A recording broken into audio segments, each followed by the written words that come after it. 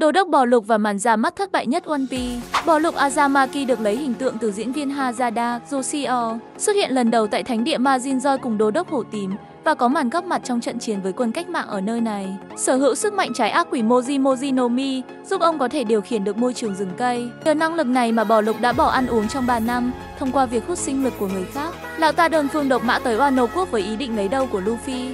Một mình Bò Lục đã đánh bại tàn dư băng dã thú trong đó có King và Queen, cùng với việc áp đảo toàn bộ các samurai mạnh nhất của Wano quốc. Tưởng ngâu lời thế nào, hóa ra gã này lại là fan cuồng của thủy sư đô đốc Akainu với tính cách ngông nghênh, bạo ngược, thích hành hạ người khác. Hồ báo chưa được bao lâu thì bị tứ hoàng xanh dùng haki bá vương siêu cấp dạ cho chết khiếp. Hắn ba chân bốn cẳng bò chạy mất dép, thậm chí còn chưa được nhìn tận mắt tân tứ hoàng Luffy. Đúng là chưa thấy vị đô đốc nào thảm hại như gã này. Hy vọng lần sau, vải lục ngư đừng ra vẻ như này nữa nha.